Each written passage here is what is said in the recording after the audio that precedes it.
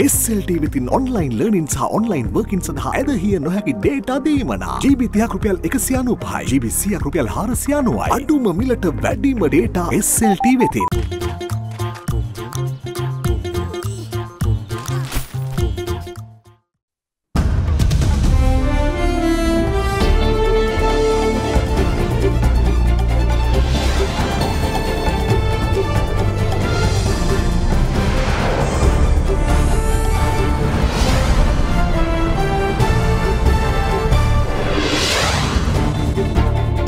අද දෙදහස් විස්ස සැප්තැම්බර් හත සඳුදා සිරස්තල.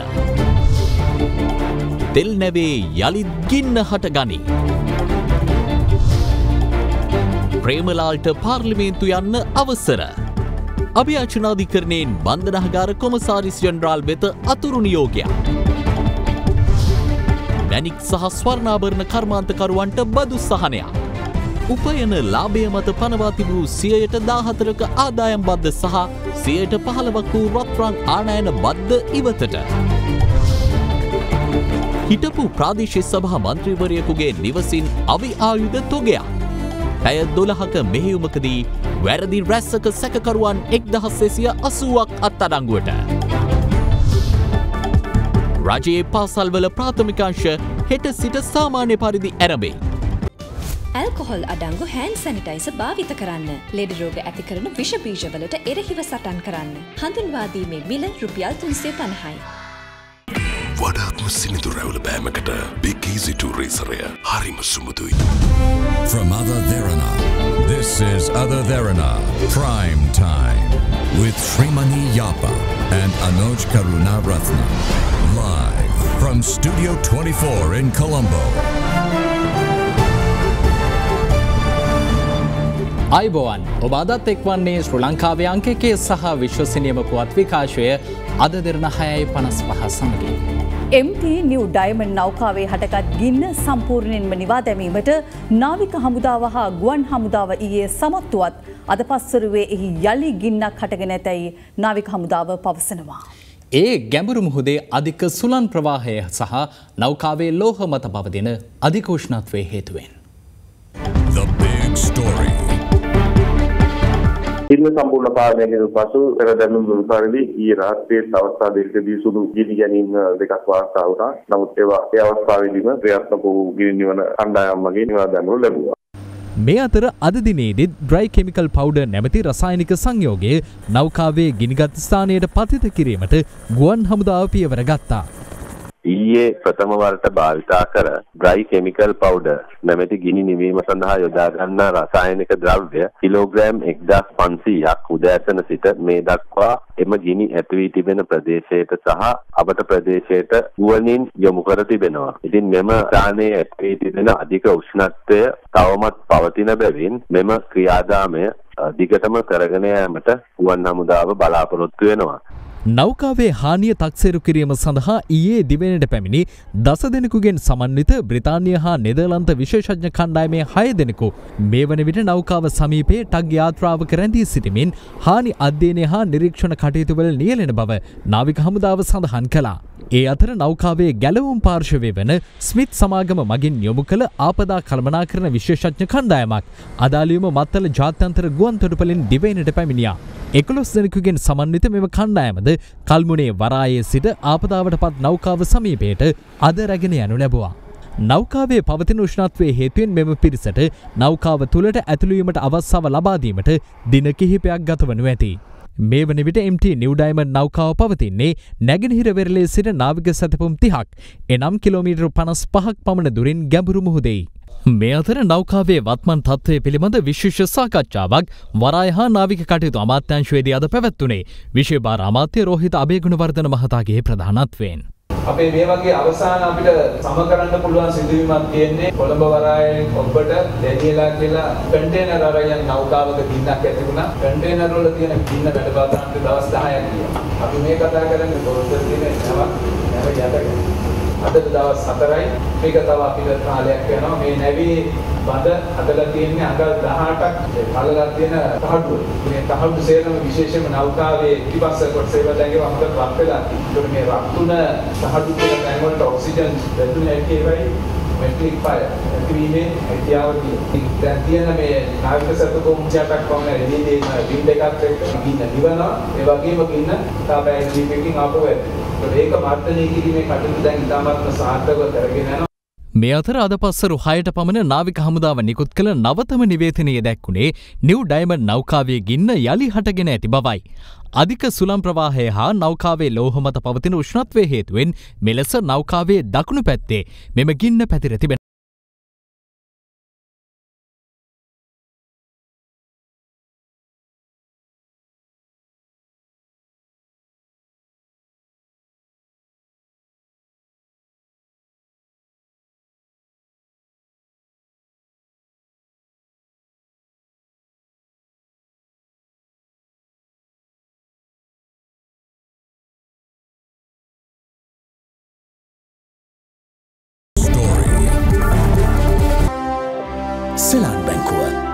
හදක් ඇති දේශීය බැංකුව. මරණීය දණ්ඩනය නියම වී සිටින රත්නපුර දිස්ත්‍රික් පාර්ලිමේන්තු මන්ත්‍රී ප්‍රේමලාල් ජයසේකර මහතාට පාර්ලිමේන්තු රැස්වීම්වලට සහභාගවීම සඳහා අවසර දෙන ලෙස දන්නමින් අභ්‍යාචනාධිකරණය අද බන්ධනාගාර කොමසාරිස් ජනරාල්වරයා වෙත අතුරු නියෝගයක් නිකුත් කළා. ඒ අනුව මරණ දඩුවමක් නියම වී සිටින පුද්ගලයෙකු මන්ත්‍රීවරයෙකු ලෙස පාර්ලිමේන්තු රැස්වීම්වලට සහභාගී වනු ඇත්තේ මෙරට ඉතිහාසයේ පළමු වරටයි.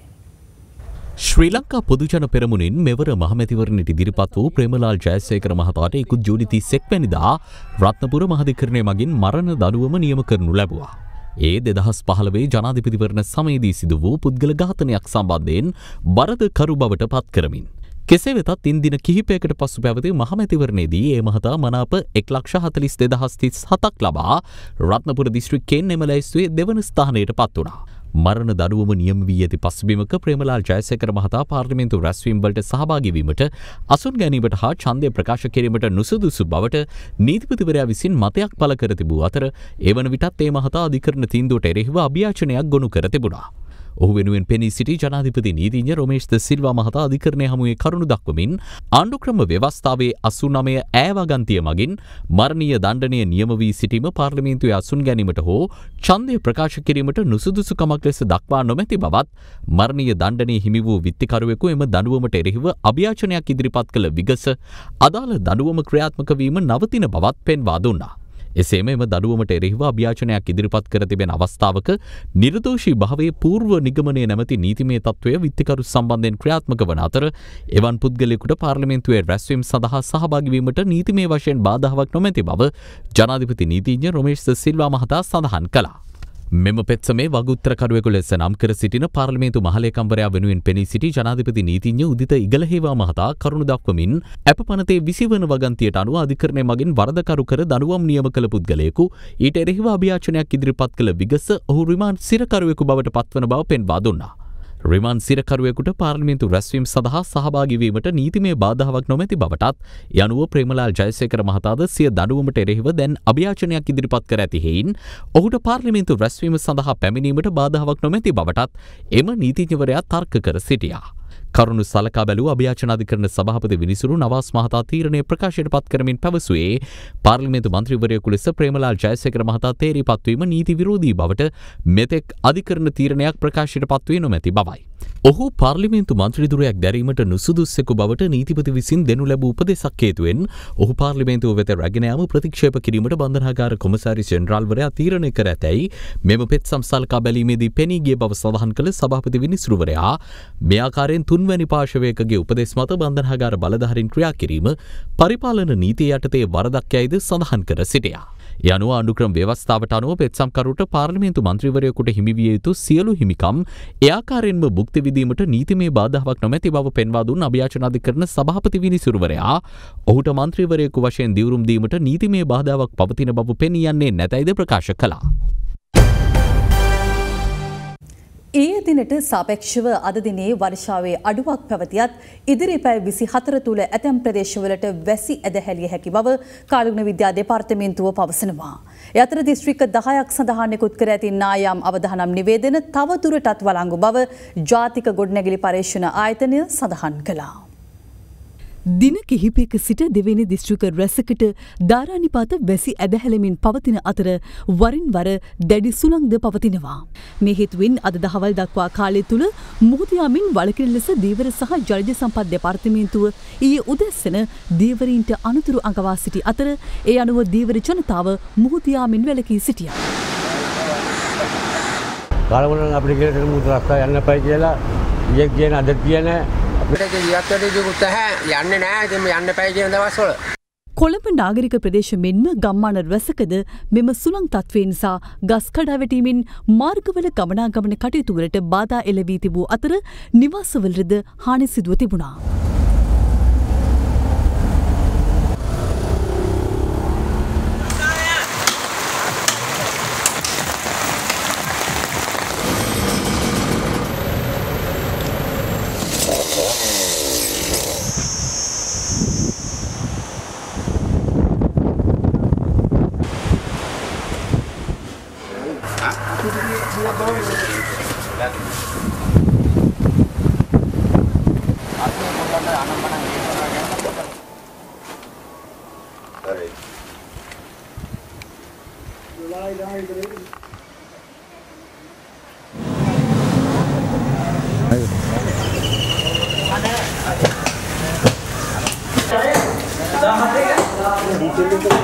මේ අතර කඩුවෙල කොතලාවල පාසල් මවතේ නිවසක් මතර පස්කන්දක් සමග තාපයක් කඩා වැටී සිදූ අනතුරකින් විසි දෙහැවිරිදි තරුණයක් මිය ගොස් තිබුණා. බරපතර තුවල් ලැබූ ඇගේ මව මේ වන විට කොළඹ ජාතික රෝහලේ ප්‍රතිකාර ලබනවා. ගණ්ඩිකට නැගලා තුනද අපිට මෙයා ගන්නකොට අපිට බය මේක හිටියේ. දෙන්නෙත් නෑ ලයිටුත් නෑ. දෙන්නෙත් නෑ ලයිටුත් නෑ. උඩ ඉඩම තියෙන කට්ටිය මේකට පස් ටිපර් 100 ගාණක් ගෙනල්ලා පිරෙව්වා. මාසෙකමත් තිස් පුරුන්.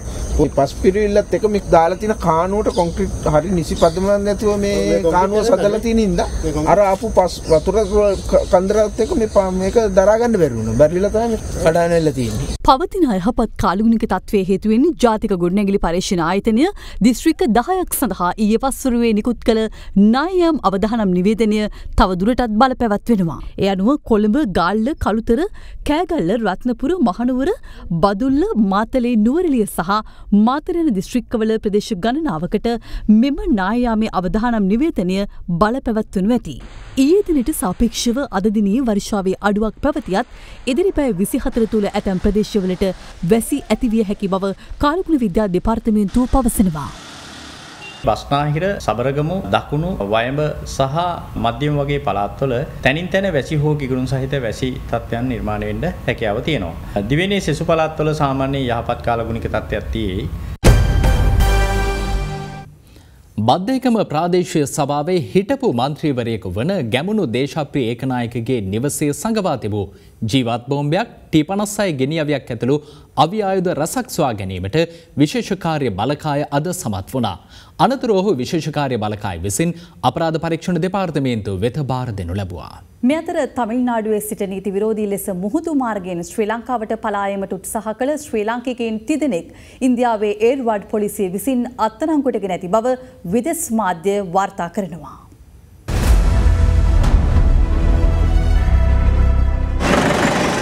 බද්ධයකම ප්‍රාදේශය සභාවේ හිටපු මන්ත්‍රී ගැමුණු දේශප්‍රිය ඒකනායකගේ නිවස අද හදිසි සෝදිසියකට ලක් කෙරුණේ එහි අවියායුධ සඟව ඇති බවට ලද තොරතුරකට අනුවයි. මෙහෙවුම සිදුකරණේ පොලිස් විශේෂකාරය බලකායේ කොළඹ විශේෂ ඒකගේ මගින්.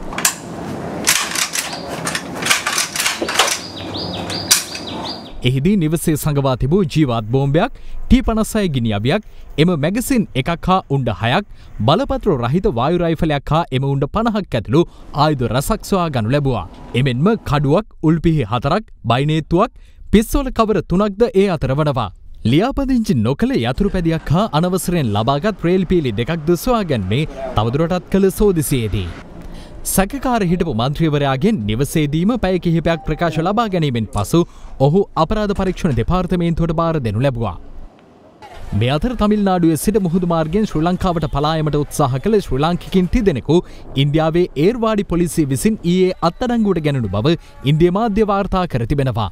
අත්තඩංගුවට ගැනුණේ අම්පාරය පදිංචිකරුවක වන හතලිස්තුන් හැවිරිදි මොහොමඩ් අලි ඔහුගේ සොහොයුරු තිස් පස් හැවිරිදි මොහොමඩ් හසන් සහ ඔහුගේ මිතුරක වන විසි නව හැවිරිදි සාහුල් හමීදු යනාය බවයි ඉන්දිය මාධ්‍ය වාර්තා කරන්නේ. මොහොමඩ් අලි නැමැත්තා දෙදහස් අයේදී තමිල්නාඩුවට ගොස් ඇති අතර වීසා කල්ලිකුත්වීම නිසා සරණාගත කඳුරුවල නීති විරෝධී ලෙස රැඳී සිට ඇති බව එම වාර්තා පෙන්වා දෙනවා. තමිල්නාඩුවේ සිට ශ්‍ර ලංකාවට පලායම සඳහා ඔවුන් භාවිත කර තිබුණේ ප්ලාස්ටික් ජලනල භාවිතයෙන් සකස් කර ඇති මෙම පහුරයි. ධනුෂ්කෝඩි මුහුදු ප්‍රදේශය හරහා පසුගේ කාලයේ සිදු වූ ගංජා ජාවාරම්වලට මෙම සැකකරුවන් සම්බන්ධ දැයිස්වා පරීක්ෂණ පවත්වන බවද ඉන්දිය මාධ්‍ය වාර්තාවල සඳහන්. පිළියන්දල බෝකුන්දර සිට ගල්කිස්ස බඩෝවිට දක්වා ගමන් කරමින් තිබූ ත්‍රීරෝධ රථයක් පොලිස් විශේෂකාරය බලකාය විසින් ඒ බොරලස්කමුයේදී හදිසි පරීක්ෂාවකට ලක් කෙරුණා. එහි සිටි කාන්තාවන් දෙදෙනෙකු හා පුද්ගලිකු අත්තරංගුවට ගැනුවේ හෙරවින් ග්‍රෑම් හැට තුනයි මිලිග්‍රෑම් තුන්සිය පණහක් සමගින්. එහි වටිනාකම රුපියල් ලක්ෂ පහක් බවයි පොලිසිය පවසන්නේ. මෙම තිදෙනා විදෙස්ගතව සිටින අපරාධ කල්ලි සාමාජික බඩෝවිට අසංකගේ සමීපතමීන් බවයි හෙළිවී ඇත්තේ. මොරටු අගුලාන ප්‍රදේශයේදී හෙරොයින් ග්‍රෑම් දහයයි මිලිග්‍රෑම් එකසි අසුවක් සමඟ පුද්ගලෙකු ඒ සවස අගුලාන පොලිසිය විසින් අත්තරංගුවට ගනු ලැබවා. හෙරොයින් අලවියෙන් උපයාගත් රුපියල් විසි දෙදහස් පන්සීක මුදලක් සහ ජංගම දුරකතනයක්ද සැකකරු සතුව තිබේදී පොලිස් භාරයට ගෙන තිබෙනවා. මොහු වරකට හෙරොයින් ග්‍රෑම් එකකට වැඩියෙන් එනම් තොග වශයෙන් අලවිකිරීමේ ජාවාරමක නිරත වී ඇති බවයි වාර්තාවන්නේ. පනස් අටහැවිරිදි සැකකරු අගුලානේ නිවසක් කුලියටගෙන ජාවාරම සිදු කරගෙන ගොස් තිබුණා. තුෂාර යන අන්වර්තනාවෙන් හඳුන්වන හෙරොයින් අලවිකරුවෙකු මහියංගන මහවැලි පාලම අසලදී මහියංගනය පොලිසිය විසින් අද අත්තරංගුවට ගැනුණා. සැකකරු සිය කිහිලිකරුවක සඟවා තිබූ හෙරොයින් ග්‍රෑම් තුනයි මිලිග්‍රෑම් පන්සියක් එහිදී සොයා ගැනුණා. මේ අතර බස්නාහිර පලාත භාර ජේෂ්ඨ නියෝජ්‍ය පොලිස්පති දේශබන්ධු තෙන්නකෝන් මහතාගේ උපදෙස් මත බස්නාහිර පලාතේ ඊයේ පෙරවරු හය සිට පස්සරු හය දක්වා කාලය තුළ සිදු කළ විශේෂ මෙහෙයුමකින් සැකකරුවන් එක්දහස් දෙසිය අසූ දෙනෙක් අත්තරංගුවට ගෙන තිබෙනවා. ඒ අතර හෙරොයින් නැතුළු මද්‍රව්‍ය සම්බන්ධයෙන් හයසී තිස් හතක් වරෙන්දුකරුවන් පන්සිය දහ නවයක් හා විවිධ වැරදිවලට සම්බන්ධ හැත්තෑ තුන් දෙනෙක්ද වනවා. මැනික් සහ ස්වර්ණභරණ කර්මාන්තකරුවන් උපයන ලාභය මත පනවා ඇති සියට දා හතරක ආදායම් බද්ධ සහ සියට පහළවක් වූ රත්රුවන් ආනයන බද්ධ ඉවත් කිරීමට ජනාධිපති ගෝටාබේ රාජපක්ෂ මහතා තිරණය කර තිබෙනවා. අද දහවල් ජනාධිපති කාර්යාලය පැවති සාකච්ඡාවකදී ජනාධිපතිවරයා මේ බව ප්‍රකාශ කළා. මැනික් හා ස්වර්ණාභරණ ආශ්‍රිත කර්මාන්ත පිළිබඳ රාජ්‍ය අමාත්‍යංශයේ ඉදිරි සැලසුම් පිළිබඳ සාකච්ඡාවක් අද දහවල් ජනාධිපති කාර්යාලයේදී පැවැත්වුණේ ජනාධිපති ගෝඨාභය රාජපක්ෂ මහතාගේ ප්‍රධානත්වයෙන්. දෙදහස් දහට වසරේදී රත්රං ආනයනය සඳහා සියට පහළවක බද්දක් පනවනු ලැබූ අතර ස්වර්ණාභරණ මිල ඉහළයාමට මෙම බදු හේතු වී තිබෙනවා.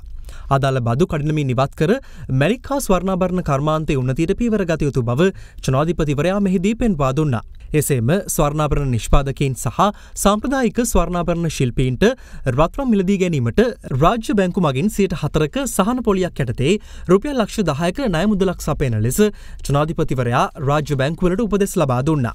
මෙතර මැනික් සඳහාවන ලෝකවෙළඳ පොලේ කේන්ද්‍රය බවට පත්වීමට ශ්‍රී ලංකාවට නොහැකිවීම ආශ්‍රිත ගැටලු නිරාකරණයට රාජ්‍ය අමාත්‍ය ලොහන් රත්වත්තේ මහතා ඉදිරිපත් කළ යෝජනා 14ක් මෙහිදී දීර්ඝ ලෙස සාකච්ඡාවට ලක් වුණා. මෙතර නවරජය පිහිටවීමෙන් පසු බුද්ධ ශාසන අරමුදලේ අසූ හතරවැනි පාලක මණ්ඩල රැස්වීම අද අග්‍රාමාත්‍ය මහින්ද රාජපක්ෂ මහතාගේ ප්‍රධානත්වයෙන් අරලි ගහමන්දිරයේදී පැවැත්වුණා. මෙතෙක් ක්‍රියාත්මක නො වූ බෞද්ධ ස්වාමීන් වහන්සේ පහළොස් දහසක් ආවරණය වන බුදුපුත් සුරක්ෂා සෞඛ්‍ය රක්ෂණාවරණ වැඩසටහන ඔක්තෝම්බ පළමුවනදා සිට ආරම්භ කරන ලෙස බුද්ධ ශාසන අරමුදලේ සභහපති අග්‍රාමාත්‍ය මහින්දරාජපක්ෂ මහතා මෙහිදී උපදෙස් ලබා දුන්නා. ඒ අනුව බුදුපුත් සුරක්ෂා සෞඛ්‍ය රක්ෂණාවරණ වැඩසටහනට බුද්ධ ශාසන අරමුදලෙන් රුපියල් මිලියන හතලියක මුදලක් ප්‍රදානය කිරීමටද අග්‍රාමාත්‍යවරයා උපදෙස් දී තිබෙනවා. මීට අමතරව සාමනේර හිමිවරුන්ට ලබා දෙන ශිෂ්‍යත්ව සංඛ්‍යාව අටසයේ සිට එදහස් පන්සේ දක්වා ඉහළ දමා එම ශිෂ්‍යත්ව මුදල ඉහළ දැමීම අඩු පහසුකම් සහිත විහාරස්ථානවල සනීපාරක්ෂක කටයුතු වෙනුවෙන් ලබා දුන් රුපියල් ලක්ෂයේ මුදල රුපියල් එක් ලක්ෂ පනස් දහස දක්වා වැඩි කිරීමටත් මෙහිදී තීරණය කරනු ලැබුවා. මෙම අවස්ථාවට විපක්ෂ නායක සජිත් ප්‍රේමදාස මහතා ඇතුළු ගිහි පැවිදි පිරිසක් එක්ව සිටියා. යෝජිත විසිවන ආණ්ඩුක්‍රම ව්‍යවස්ථා සංශෝධනය හරහා කමිෂන් සභා හතක අකණ්ඩ පැවැත්ම සහතික කර ඇති බව ශ්‍රී ලංකා පොදුජන විරමුණේ සභාපති අමාත්‍ය මහාචාර්ය ජීඑල් පිරිස් මහතා පවසනවා. අද කොළඹ පැවති මාධ්‍ය හමුකට එක්වෙමින් අමාත්‍යවරයා වැඩිදුරටත් සඳහන් කළේ පෙර පැවති ව්‍යවස්ථාදායක සභාව වෙනුවට පාර්ලිමේන්තු කවුන්සිලයක් මගින් රාජ්‍ය ආයතනවල ඉහළ තනතුරු සඳහා පුද්ගලයින් තෝරාපත් කරගන්නා බවයි. රට කෙතරම් අරාජක වුණා. පාර්ලිමේන්තුව රැස් වෙලා අවුරුදු හතරහමාරක් ගත වෙනතුරු තුනෙන් දෙකක බලයක් නැතිනම් පාර්ලිමේන්තුව විසිරවන්න බෑ. ඒතර මොකක්ද ඒකේ ප්‍රතිඵලය? ආණ්ඩුවක් නැති රටක්. ගෝඨාභය රාජපක්ෂ මැතිතුමා බලයට පත් වුණේ ගිය අවුරුද්දේ නොවැම්බර් 16. දහනවන සංශෝධනය නොතිබුණා නම් එතුමා වහාම කරන්නේ පාර්ලිමේන්තුව විසිරුවන එක. මාස 10ක් අපතේ ගියා. කාටද අවාසිය? රාජපක්ෂ පවුරට නෙවෙයි මේ රටේ ජනතාවට. සමහර අය කියනවා කොමිෂන් සභා විසිවන සංශෝධනයෙන් අහෝසි වෙලා තියෙනවා කියලා. සම්පූර්ණ මිත්‍යාවක්. පට්ටපල් බොරුවක්. කොමිෂන් සභා තියෙනවා. කොමිෂන් සභා හතක අකණ්ඩ පැවැත්ම සහතික කරලා තිබෙනවා විසිවන සංශෝධනය. හැබැයි මේ කොමිෂන් සභා හත ස්ථාපිත කිරීමේ කාර්යභාරය පිළිබඳ වෙනසක් ඇති වෙලා තිබෙනවා. ඉස්සෙල්ලා තිබිච්ච විවස්ථා මණ්ඩලය වෙනුවට දැන් පාර්ලිමේන්තු කවුන්සලයක් තියෙනවා. එතකොට ඒ පාර්ලිමේන්තු කවුන්සලයේ යෝජනා හා අදහස් විමසීමට අනිවාර්ය යුතුයකමක් හා වගකීම ජනාධිපතිවරයාට පැවරෙනවා. හිතුවමතුවේ අත්නෝමතික ලෙස පත් කරන්න බෑ. මේ රටේ සියලුම පුරවැසි කාස් වෙලා ඡන්දය දුන් ජනාධිපතිවරයාට ඒ බලතල දීම සුදුසුයි. දහනමෝන සංශෝධනය කොපමණ දුරට මේ රටට හිතකරද කියලා කියන්න මම දකින හොඳම උදාහරණය තමයි දහනමෝන සංශෝධනය ගන්න මූලිකත්වය ගත්තු රනිල් වික්‍රමසිංහ හිටපු අගමැතිතුමාට කොළඹ දිස්ත්‍රික්කෙන් ඔහුගේ පාර්ලිමේන්තු මන්ත්‍රී දූරයත් අහෝසි වී. දහනමවැනි සංශෝධනයට රටේ ජනතාව කොහොම කමැත්ත අකමත්ත ප්‍රකාශ කරාද කියන එක බොහොම පැහැදිලිව අපිට පේන. විසිවන ආණ්ඩුක්‍රම විවස්සා සංශෝධනය පරාජය කිරීම සඳහා කොන්දේසි වෙරහිතව කටයුතු කිරීමට සමගි ජනබලවේගේ තීරණය කර තිබෙනවා. අද පාර්ලිමේන්තු සංකීර්ණය රැසූ සමගි ජනබලවේග මන්ත්‍රී කණ්ඩායම මෙම තීරණය ගනු ලැබවා. සමගි ජනබලවේගේ මන්ත්‍රී කණ්ඩායම විපක්ෂනායක සජිත් ප්‍රේමදාස මහතාගේ ප්‍රධානත්වයෙන් පාර්ලිමේන්තු සංකීර්ණයේදී අද පස්වරුවේර් වැස්සුනා. විසිවන අඩුක්‍රම ව්‍යවස්ථා සංශෝධනය කොන්දේසි විරහිතව පරාජය කිරීම සඳහා වන යෝජනාව මාතර දිස්ත්‍රික් පාර්ලිමේන්තු මන්ත්‍රී බුද්ධික පතිරණ මහතා විසින් එහිදී ඉදිරිපත් කළ අතර කුරුණෑගල දිස්ත්‍රික් පාර්ලිමේන්තු මන්ත්‍රී අශෝක අබේසිංහ මහතා විසින් එය ස්ථිර කරනු ලැබුවා. අද පැවති සමගි ජන බලවේග පාර්ලිමේන්තු මන්ත්‍රී කණ්ඩායම් රැස්වීමද තීරණය කරා විසිවෙනි සංශෝධනයට සම්පූර්ණයම විරුද්ධත්වය පළ කරන්න ඒවගේම සිවිල් සමාජය විද්වතුන් සම්බන්ධ කරගෙන ඊට විරෝධතා ව්‍යාපාරයක් හා දැනවත් කිරීම වැඩ පියවලකුත් කරන්න සාකච්ඡා කළා. මෙතර යෝජිත විසිවන ව්‍යවස්ථා සංශෝධනය සම්බන්ධයෙන් තම පක්ෂ අධිකරණය හමුවට යාමට සූදානම් බව සමගි ජනබලවේගේ ජාතික සංවිධායක පාර්ලිමේන්තු මන්ත්‍රී ති සත්නායක මහතා අද කොළඹ පැවති මාධ්‍ය හමුකට එක්වමින් සඳහන් කළා. අපි හිතුවා 19 වෙනි සංශෝධනය යම් සංශෝධනයකට භාජනය කරනවා නම් මේක මෙතනින් එහාට යයි කියලා. පාර්ලිමේන්තුවට තේරිපත් වන අයට පමණ මේ ගෙනල්ලා තිබෙන දුෂ්ටපුරවැසි තහනම අපි හිතුවා ඊටත් පහළට යයි කියලා. ඒ කිව්වේ පළාත් සභාවට, ප්‍රාදේශ සභාවට මේ වගේ පහළටම යන්න තිබුණා. ඒ විතරක් නෙමෙයි රජයේ ඉහළ තනතුරු දරන්නන්ටත්. මේ නීතියම ආදේශ කෙරුවා නම් ඒක තමයි අපේ නියම ජාතිකත්වය. හැබැයි එහෙම කළේ නැහැ. රටේ අවශ්‍යතාවයට අනුව සීමා සහිත ප්‍රමාණයක් ඇති කිරීමේ වගන්තියක් තමයි 19 වෙනි ව්‍යවස්ථාවෙන් ඇමතිවරු පත් කිරීමේදී ලබා දුන්නේ. ඒ සීමාවල් ඇති කරේ වියදම් සීමා කළ රටේ පොරොත්තු දෙන මූල්‍ය තත්ත්වය ශක්තිමත් කරන්න. හැබැයි ඒ සීමාවත් ඉවත් කරලා තිබෙනවා. ඒ වගේම කොමිෂන් සභාවල ක්‍රියාකාරීත්වය දුර්වල කරලා තිබෙනවා. මම කියන්නේ කොමිෂන් සභාවල අඩුපාඩුකම් තිබෙනවා නම් ඒවා වෙනස් කරන්න සංශෝධන ගෙන්නවා මිසක කර්මන්නේ කරන්න නීති රීති ගෙනීම බරපතල වරදක්. මේ පිළිබඳව අධිකරණ ක්‍රියාවලියකට අපි යොමු වෙන්න බලාපොරොත්තු වෙනවා. අර පාස්කු ඉරිදින බෝම්බ ප්‍රහාරය ඒක 19ට පටවන. 19ට ඒකට කිසිම සම්බන්ධතාවයක් නැහැ. රටේ අන්න දෙන නිලධාරී ජනාධිපතිතුමා මේ සියලුම බලය තිබුණා. 19 තිබුණකට තිබුණා. අදත් තියෙනවා ඒ සියලුම බලය. නටන්න බැරි මිනිස්සුන්ට පොළොව වැදයි කියලා කියනවානේ. හුඟක් වෙලාවට බලනවා මේකේ නීති අඩුපාඩුවක් තියෙනවා. නීති අඩුපාඩුවක් නෙමෙයි එදා උනේ. එදා උනේ පුද්ගලයන්ගේ අඩුපාඩුවක්. මව්පියන් නිවසේ නැති අතරේ සිංහිති දරුවෙකුට සිදු වූ බරපතල අනතුරක් පිළිබඳ සංවේදී පුවතක් අපට කොළඹ ළමාරෝහලෙන් වාර්තා වුණා.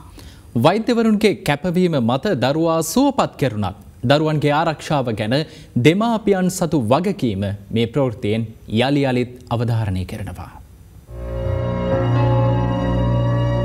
හදිසි අනතුරකට ලක්වුණු තුන් හැවිරිදි මේ පුංචි දරුවා කොළඹ රිජ්වේ ආර්යා ළමාරුහලට ඇතුළත් කෙරෙන්නේ ඊ රාත්‍රී හතට පමණ.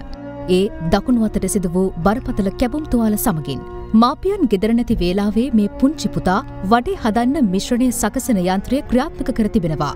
ඒ සමගම ඊට අසු වූ සිගිත්තාගේ අතේ අත්ල කොටස කොටස් කිහිපයකට කැපී යන්නේ අස්තිවලටත් දැඩි හානි කරමින්.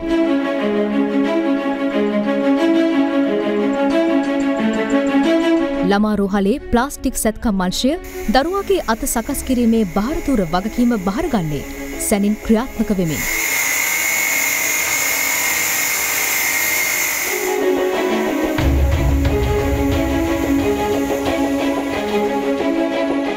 අපිට ඉතාම දැඩි පරිශ්‍රමයක් දරන්න සිද්ධ වුණා ඒ අත යන්ත්‍රයෙන් මුදවා ගන්න.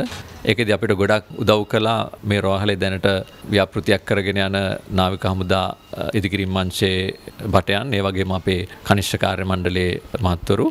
ඒ දරුවගේ අත තැන් කීපයකින්ම ඉතාමත්ම දරුණු විදිහට අනතුරට ලක් වෙලා තිබුණා. අත යන්ත්‍රය නිවත් කර ගැනීමේ ඉඳලා ඒ අනතුරු යථා තත්ත්වයට පත් කිරීම දක්වා සම්පූර්ණ ක්‍රියාවට අපිට පැය හතකට අධික කාලයක් ගත වුණා. නමුත් අපිට හැකියාව ලැබුණා ඇගිලි සියල්ලම හැකිතාක් දුරට යථා තත්ත්වයට පත් කරන්න. දිනෙන් දින වැඩෙන පුංචි දරුවන් අත්හදා බැලීම් කරන්නට නිතර උත්සාහ කරන වග අමුත්තක් නොවෙයි. ඒ නිසා කෙතරම් රාජකාරී තිබුණත් පුංචි දරුවන් ආරක්ෂා කර ගැනීම මාපියන් සතු විශාල වගකීමක්. අපි කාරණයකව දෙමාපියන්ගේ ඉල්ලා සිනවා මේ යන්ත්‍ර සූත්‍රවලින් ඒ වගේම ගින්දර වගේ ස්ථානවලින් ඒ වගේම රසායනික ද්‍රව්‍ය ඒ වගේම පිලිස්සුම්කාරක ද්‍රව්‍ය තියෙන ස්ථානවලින් මේ දරුවන් ඉවත් කරලා තබා ගැනීම සඳහා දෙමාපියන් වග බලා ගන්න ඕන. සමහරක් වෙලාවට මේ අත ජීවිත කාලය දක්වාම ක්‍රියාත්මක නොවන තත්ත්වයට පත් වෙන තිබ්බා. වාසනාව කරමින් කෙසේව අපේ වෛද්‍යවරුන්ගේ ඉමහත් ඒ පරිශ්‍රමය නිසා මේ දරුවාගේ අත බේරා ගැනීමට අපිට හැකියාවක් ලැබුණා. ගත වූ පැය විසි හතර තුළත් අකණ්ඩව ලොව වැඩිම දෛනික කොවිඩ් ආසාධිතින් ගණන ඉන්දියාවෙන් වාර්තා වුණා. මේ අතර මෙරට කොවිඩ් රෝගීන් දෙදහස් නවසී විසි හය දෙනෙකු සුවය ලබා පිටව ගොස් ඇති අතර මෙරට රෝහල් ගතව ප්‍රතිකාර ලබන්නේ එකසිය අසූ පස් දෙනෙකු පමණයි. මෙරටින් COොVID-19 නාසාධිතයන් දෙදෙනෙකු එයේ හඳුනා ගැනුණා. ඒ එක්සත් තරාබියමි රාජ්‍යය සහ ඉන්දියාවේ සිට පැමිණ නිරෝධායනයට ලක්වමින් සිටි දෙදෙනෙක්. ඒ සමග මෙරටින් හඳුනාගත් සමස්ත COොVID-19 නාසාධිතයන් සංඛ්‍යාව තුන්දහස් එකසේ විසි තුන දක්වා ඉහළ ගියා. වෛරසය ආසාධිතව සිටි පුද්ගලයන් දෙදහස් නවසේ විසි හයක් අද වන විට පූර්ණ සුවය ලබා තිබෙනවා. තවමත් රෝහල්ගතව ප්‍රතිකාර ලබන්නේ රෝගීන් එකසිය අසූ පස් දෙනෙකු පමණයි. මෙ අතර එක්සත් තරාබියමි රාජ්‍යය සිට මෙරටට පැමිණ නිරෝධායනයට ලක්වමින් සිටි අයෙක් රෝහල්ගත කිරීමෙන් පසු මියකොස් තිබෙනවා. හෘදයාබාධයකින් හා දියවැඩියාවෙන් පෙළී ඇති ඔහු රෝහලට ඇතුළත් කර ඇත්තේ පාදය තිබූ තුවාලයක් හේතුවෙන්. ඔහුට කොවිඩ් ආසාධනය වී නැතැයි PCR පරීක්ෂණවලදී තහවුරු වී තිබූ නමුත් ඔහුගේ අවසන් කටයුතු නූරෙලිය නාගරික ආදාහනාගාරයේදී සිදු කෙරුණේ ජාත්‍යන්තර නිරෝධායන රෙගුලාසි අනුවයි. කොවිඩ් වසංගතය පාලනය කිරීමෙන් පසු සියලු රජය පාසල්වල සියලු ශ්‍රේණි සඳහා අධ්‍යන කටයුතු හෙට සිට සාමාන්‍ය පරිදි සිදු කරන බව අධ්‍යාපන අමාත්‍යංශය පවසනවා. දැනට වැඩතහනමකට ලක්ව සිටින ජේෂ්ඨ නියෝජ්‍ය පොලිස්පති ලලිත් ජයසිංහ මහතා නැවත සේවයේ පිහිටුවීම සම්බන්ධයෙන් තමාගේ විරුද්ධත්වයක් නොමැති බව වැඩබලන පොලිස්පති සීඩී වික්‍රමරත්න මහතා අද දේශපාලන පලිගැනීම් පිළිබඳ සොයන ජනාධිපති කොමිසම හමුවේ ප්‍රකාශ කළා. ඔහු වැඩිදුරටත් සඳහන් කළේ ඒ සම්බන්ධයෙන් වූ නිර්දේශ ඉදිරි දිනකදී පොලිස් කොමිෂන් සභාව වෙත ඉදිරිපත් කිරීමටද කටයුතු කරන බවයි. යාපනයේ විද්‍යාදැරියගේ ඝාතන සිද්ධියට සම්බන්ධ මාලිංගම් ශශිකුමාර්ට පලයාමට ආධාර අනුවල ලබාදීම සහ කහවත්ත ඝාතන සිද්ධියේ වර්ධකරුවකු වන ප්‍රේමලාල් ජයසේකරගේ නම ඉවත් කරන ලෙස පොලිස් තනාධිපතිවරයාට බලපෑම් කළයි යන චෝදනාවලට දැනට වැඩතහනමට ලක්ව සිටින හිටපු ජේෂ්ඨ නියෝජ්‍ය පොලිස්පති ලලිත් ජයසිංහ මහතා දේශපාලන පලිගැනීම් පිළිබඳ සොයා බලන ජනාධිපති කොමිසමට පැමිණිල්ලක් සිදු කර තිබුණා. වැඩබලන පොලිස්පති CD වික්‍රමරත්න මහතා අද කොමිසම හමුවට කැඳවනු ලැබුවේ එම පැමිණිල්ලට අදාළව සාක්ෂි විමසීම සඳහායි. ලලිත් ජයසිංහ මහතා වෙනුවෙන් පෙනී සිටි නීතිඥ මහේෂ් කොටුවැල්ල මහතා දැනට පොලිස් දෙපාර්තමේන්තුවේ ජේෂ්ඨත්වයෙන් ඉහළම ස්ථානයේ සිටින්නේ කවුරුන් දැයි විමසූ විට ඊට පිළිතුරු දුන් වැඩබලන පොලිස්පතිවරයා පැවසුවේ පළමුව තමාත් දෙවනුව ලලිත් ජයසිංහ මහතාත් ජේෂ්ඨත්වය අතින් ඉදිරියෙන් සිටින අතර තමා 11 වතාවක් වැඩබලන පොලිස්පතිදුරේ කටයුතු කර ඇති බවයි. එමෙන්ම ඔහු වැඩතහනමකට ලක් නොවී සේවේ රැඳී සිටියා නම් පොලිස්පති දුරයට පවා පත්වීමට හැකියාව තිබූ බව වික්‍රමරත්න මහතා සඳහන් කළා.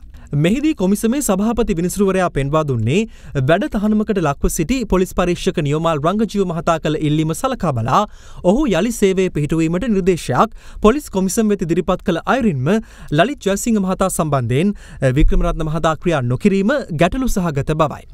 එලෙස කටයුතු නොකළේ තමන් සමග පොලිස්පති දුරයට තරගයක් දීමට සිටි ඊළඟ ජේෂ්ඨ නිලධාරියා ලලිත් ජයසිංහ වන නිසා දැයි පැමිණිල්ලේ නීතිඥවරයා සාක්ෂිකරුගෙන් විමසා සිටියා. ලලිත් ජයසිංහ මහතා සේවයේ පිහිටුවන්න ඉදිරිපත් කළ අභ්‍යාචනා සැලකිල්ලට ගනිමින් ඔහු සේවයේ පිහිටුවීම සම්බන්ධයෙන් නීතිපතිවරයාගේ මතය විමසූ බවත් ලලිත් ජයසිංහ මහතා යළි සේවයේ පිහිටුවීම සුදුසු නොවන බව ඊට පිළිතුරු ලිපියක් යොමු කරමින් නීතිපතිවරයා තමන්ට දැනුම් දුන් බවත් වික්‍රමරත්න මහතා පැවසුවා.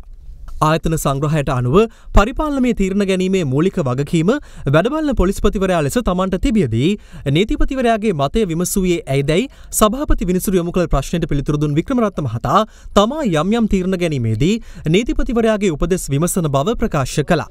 මෙහිදී සභාපති විනිසුරුවරයා දැඩිස්පරයෙන් ප්‍රශ්න කළේ මෙම නඩුවලට අදාළව අධිචෝදනා ගොනු කළ නීතිපති දෙපාර්තමේන්තුවෙන්ම ජයසිංහ මහතා යළි සේවය පිහිටුවීම පිළිබඳ මතය විමසීම හොරාගේ අම්මාගෙන් පේනැසීමක් නොවේද යන්නයි. වැඩබල්ල පොලිස්පතිවරයා එවිට ප්‍රකාශ කළේ ලලිත් ජයසිංහ මහතා නැවත සේවේ පිහිටුවීම ප්‍රමාදවීම ඇතැම් විට පරිපාලන දෝෂයක් විය හැකි බවයි. එසේම දණ්ඩනිති සංග්‍රහයේ දෙසිය අනු හය යටතේ චෝදනා ගොුණු කෙරනු නියෝමල් රංගජීව යළි සේවේ පිහිටුවීමත් දණ්ඩනීති සංග්‍රහයේ දෙසිය නව යටතේ චෝදනා ගොුණු කෙරනු ලලිත් ජයසිංහ මහතාට සේවේ ලබා නොදීමත් ගැටලු සහගත බව කොමිසම ප්‍රකාශ කලා.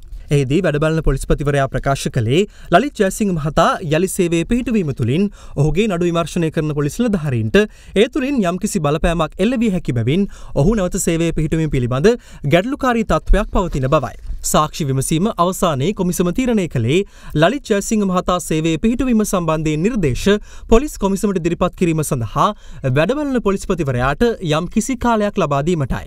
මේ පිළිබඳ වැඩදුර විභාගය සැප්තැම්බර් දහට දක්වා කල් තැබුණා.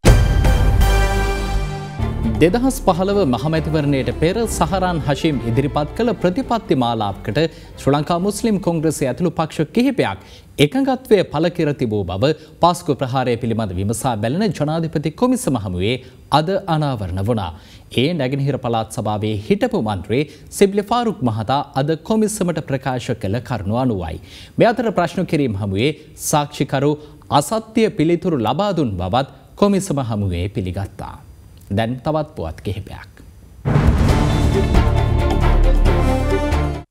දෙදහස් දාහතර වසරේ මෝදර දීවරවරාය පෞද්ගලික සමාගමක් වෙත අඩු මුදලකට බදුදීම සඳහා එහි අධ්‍යක්ෂ මණ්ඩලය පෙළඹවීමෙන් රජයට පාඩු කිරීමේ චෝදනාව මත කොළඹ මහාධිකරණය අද හිටපු අමාත්‍ය රාජිත සෙනරත්න මහතා ඇතුළු තිදෙනෙකුට එරෙහිව සිතාසි නිකුත් කළා. ඒ ඔක්තෝබර් මාස විසිනව වැනිදා අධිකරණය හමුවේ පෙනී සිටින ලෙස දන්වමින්. තිස්සමහාරාම කිරින්ද අඳගල වැල්ලේ කඩුලාන භූමියකට යාබද අකර පහක භූමියක් එලිකරමින් සිටි පුද්ගලයෙකු සහ ඊට උපදෙස්තුන් ව්‍යාපාරිකයෙකු පොලිස් අතරංගුවට ගෙන තිබෙනවා. මෙය ඉතා රමණීය කඩුලාන පද්ධතියක් පැවතීම මෙන්ම ග්‍රීන්බර්ඩ් පක්ෂීන් විශාල වශයෙන් දක්නට ලැබීම නිසා සංචාරක ආකර්ෂණය නොමදව දිනා ඇති ප්‍රදේශයක්. උතුරු කොළඹ ගංවතුර පාලනය කිරීම සඳහා ඉදිකිරමින් පවතින නව මුතුවැල්ල උමං මාර්ගයේ වැඩ කටයුතු මාස තුනක් ඇතුළත අවසන් කරන ලෙස අග්‍රාමාත්‍ය මහින්ද රාජපක්ෂ මහතා කොළඹ අගනගරාශ්‍රිත සංවර්ධන ව්‍යාපෘතිට උපදෙස් ලබා දී ඇති අතර එය අද නිලධාරීන්ගේ නිරීක්ෂණයට ලක් වුණා. මෝදර ප්‍රදේශයෙන් මුහුදට සම්බන්ධ වන මීටර 778ක දිගින් යුත් මෙමුමගේ ඉදිකිරීම මේ වන විට අවසන් අධීරයේ පවතිනවා.